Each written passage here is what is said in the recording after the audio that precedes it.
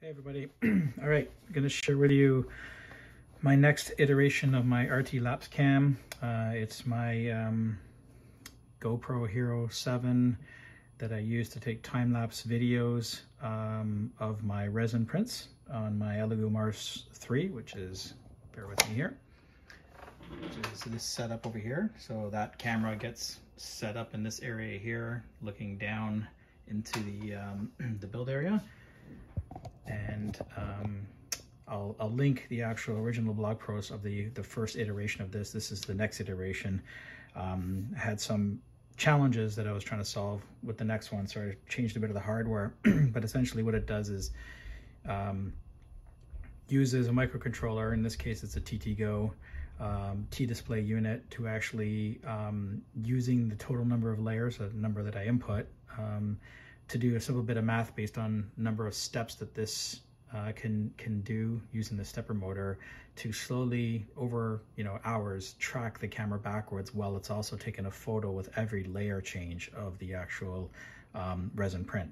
So that's detailed out in my my um, uh, previous posting in the original version of this. So I'll link that again. Uh, but this is ready to talk about sort of the next phase of this, which is a, a few changes like I just mentioned. So I um, changed over to a, uh, a different stepper. Well, actually a stepper. My previous motor wasn't a stepper at all. I was just doing some guessing based on uh, timing to try to get the steps or, you know, uh, hack the steps, if I could use that term. Uh, but I needed something with accuracy uh, where I could actually use a total number of steps and do some math to determine how far the slider can go over a period of time.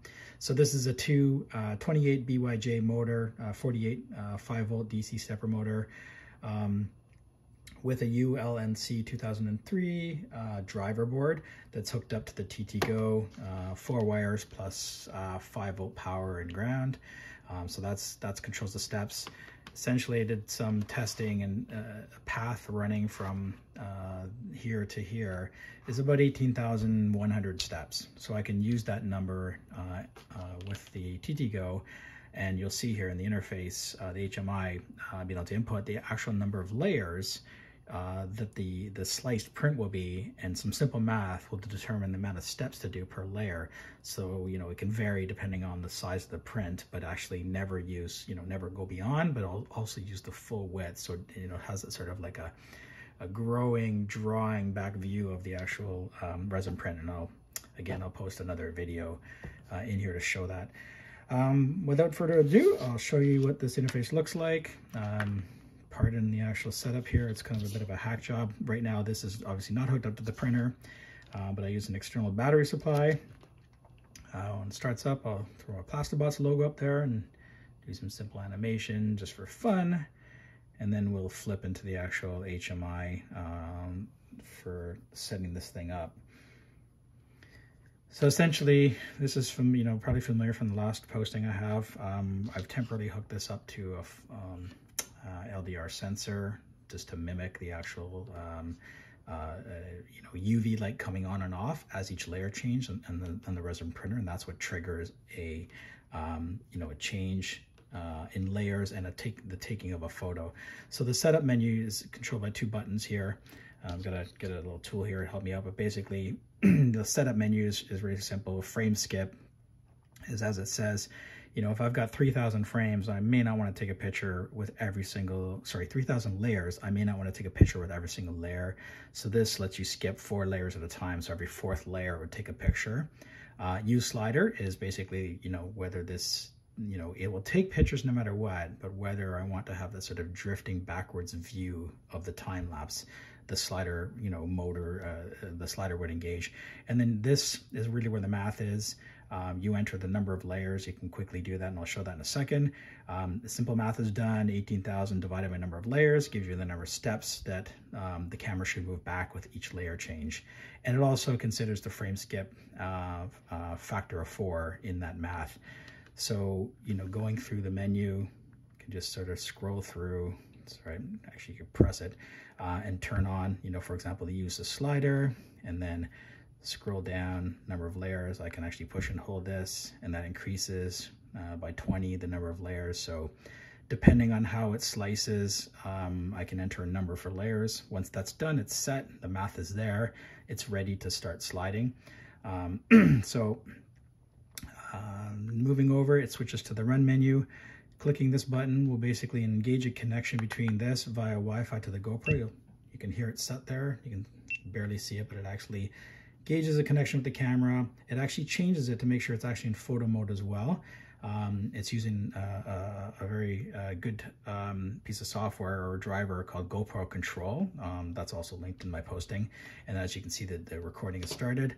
Now this guy's watching the light, uh, number of frames, and basically I'm mimicking with my finger you know, each layer change when the resin printer, obviously in resin printers, when it does a new layer, UV light comes on for a period of time, goes off for a period of time.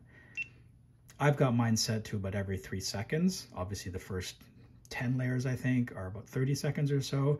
This can handle all of that, so it just waits. And then with every single layer change, it actually uh, takes a picture. And in this case, because I said use slider, it moves the slider back.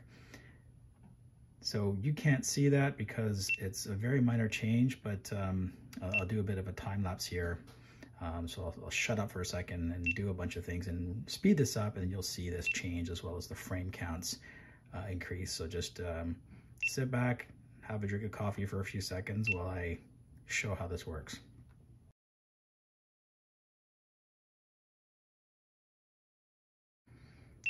All right, so that should be enough to give you an idea of, of it moving. It's In this case, it's actually moving quite quickly because I only put in a, a few hundred layers um, it would move much more slowly. The steps are very tiny when there's, you know, a thousand or so layers. Uh, it takes, you know, two plus hours to slide uh, the distance here. Also, from a standpoint of, you know, you may be wondering about damage and whatnot. I know I've hooked this motor up directly to the 5 volt output of the TTGO. Um, I actually, be honest with you, I haven't done any checking on the, the maximum uh, draw or, or rating of the actual um, uh, voltage regulator in here, but it is transferring 5 volts. I think, I believe it actually transfers directly from the USB power supply, but I'm going to double check that. But honestly, not worried. I don't think it's a big deal. There's not a lot of uh, demand on this motor, uh, even if there is any kind of a capture a stick on here. I built this in such a way that it's actually a smooth uh, wheel with a actually a smooth uh, nylon rope but rubber, a rubber Lego um, elastic here, and it has, it easily slips on purpose. So, you know, I can grab that and move it myself without doing anything with the motor. So it's enough to create friction necessary to move the uh, slider, but if anything gets caught, it just happily um, uh, um, moves the actual wheel without uh, friction uh, causing the motor to um, stall, which would obviously cause some challenges. So anyway, that's the upgrade. I'm, I'm just, I resin printed this case. Um, I actually did a mashup of two different cases on Thingiverse, and I'll post that as well. Um, I've got a, a, front display I've still got a print uh, that I'm, I'm trying to get right so I can get the buttons um, exposed properly. And I've got, you know, Lego connectors, connectors printed. I'm gonna end up mounting this um, probably on an angle on the side of this, obviously away from the wheels.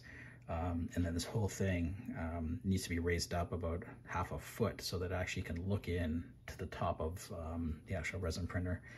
So that's about it. Again, this guy here, you'll see in my other posting, this actually is wired into the back inside the, the Mars 3.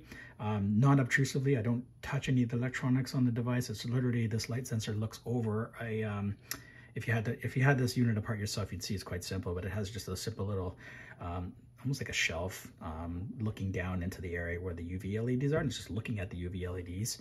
And it, you know, it, there's a significant difference in readings between light and dark um, uh, for the UV reading. So it always catches a layer change. There's nothing that interferes with that. Um, even, even if for whatever reason that UV light isn't as intense for any one layer, it's still dramatic enough that it captures the difference between dark and light um, and always catches those frames. So, thanks for taking time to watch. Um, as always, please like and subscribe to my videos if you want to hear more of this stuff. I appreciate the support. Um, uh, anyway, we'll talk to you next time. Ciao.